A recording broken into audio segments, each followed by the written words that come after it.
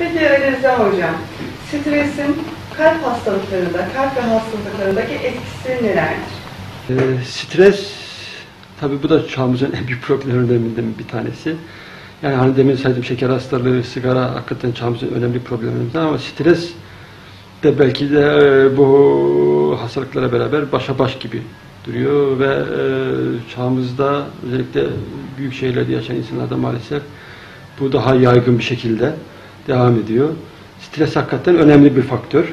Ee, yani stresi şöyle de diyebiliriz. Bir A tipi kişilik var, bir B tipi kişilik vardır. Genelde kişilikler böyle hani sıralanır sonra A tipi kişilikler genelde stresli insanlardır.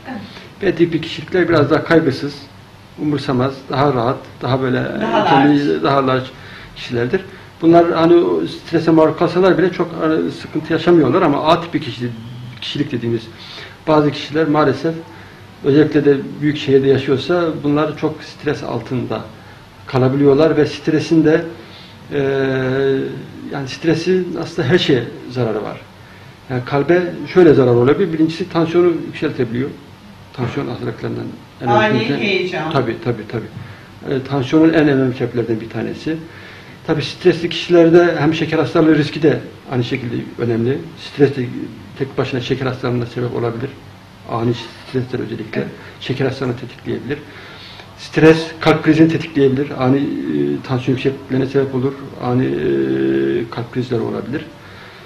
E, ve stres zaman içerisinde dediğim gibi e, özellikle en çok e, tansiyon yüksekliğine sebeplerden bir tanesi. E, stresi e, yenmek de çok zor.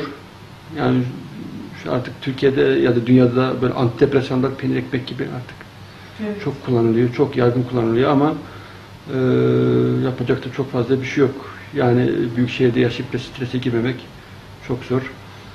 E, antidepresan bazı kişilerde hani e, tedavide veriyoruz. Özellikle kontrol edilemeyen stresler, kişi kendini kontrol edemiyorsa, stresini kontrol edemiyorsa tedavi alması, bir psikoloğa ya da psikiyatriye gitmesini tavsiye ediyoruz.